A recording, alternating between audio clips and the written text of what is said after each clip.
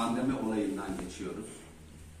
Ee, bu vesileyle Sayın Vekilimiz Eroğlu e, geçtiğimiz günlerde afetlere karşı çok önemli tespit, e, tedbirler aldı.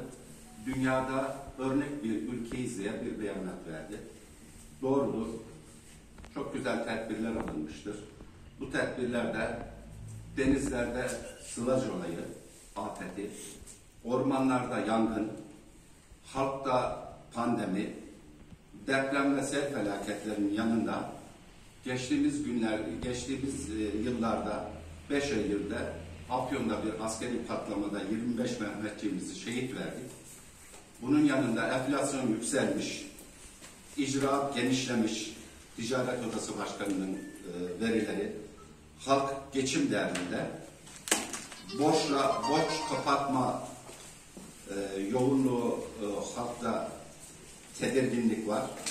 Ama e, bakıyorsunuz bir motocross olayında binlerce halkı toplamışız.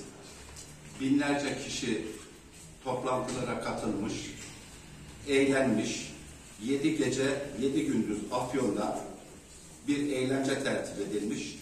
Yetkililerden bu hususta hiçbir e, talep, hiçbir e, uyarı olmamış. Ama Sağlık Bakanı Afyon'da pandemi olayı artmıştır diye beyanat veriyor. Akabinde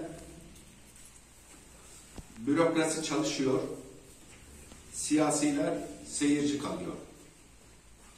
Sağlık Bilimler Üniversitesi Rektörü Sayın Nurullah okumuş, 3 milyon hibe almış, tıbbi mantar üretimine geçmiş. Vali Gökmen Çiçek Direk Firik Vadisi'ni düzenlemiş, e, turizme açmış. Sinan Paşa'daki Akşaşar köyünde Cem evine yardımcı olmuş. Emniyet Müdürümüz Ali Temiz, emniyet binasının yapımında büyük emekleri geçmiş.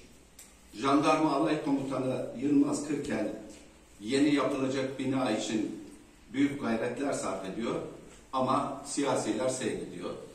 Üzüntüyle bakıyoruz.